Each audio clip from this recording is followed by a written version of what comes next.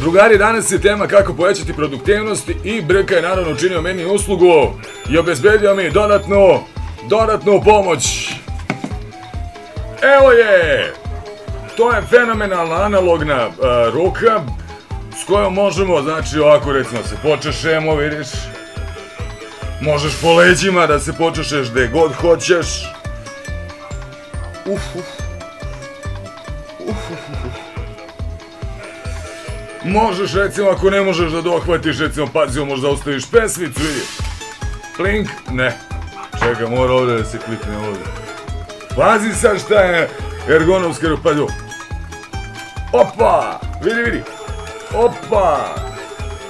Opa! Sve možeš s ovom rukom. Brko, hvala na pomoć. Mogu si da mi gitaru, mogu se držim za ruku, mogu se rukujem. Molim te, mogu odavde da upalim sve. Evo ga i Brka. Nije, bio, nije bila velika mogućnost izbora. Ili da produžavam radno vrijeme ili da ti nabavljam pomoć. Brko, hvala ti. Brko, hvala ti. O, A što, že- ženska? Ženska? Evo, treba li ti noga? Trebaju mi dve. Mislim da Noga? Ali mozgova nema, to je što. Nema veze, daj samo još ovih. A? Vidi šta je direktor, prijatelj, mogu se grlim. Mogu, mogu kako hoću, vidi, mogu ovako da vodim emisiju. Šta je prijatelj, šta je brk?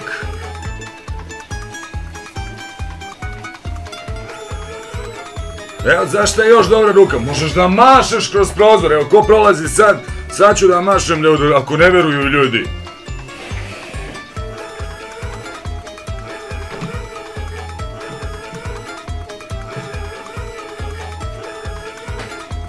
Nema šaševih taksista da mblenduju.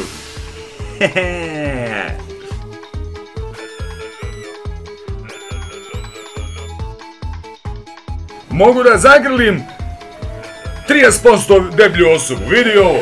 30% delj- deblju osobu mogu da zagrlim. Mogu zagrlim porodicu čitavu odjedno, vidi. I kako sam razgiban. Dva, dva, tri, četiri, tri. Mogu da ohvatim vrhove prstiju, gledaj ovo. Opa! Dvojica, vidi, opa! Brko! Sırtsız. Bre.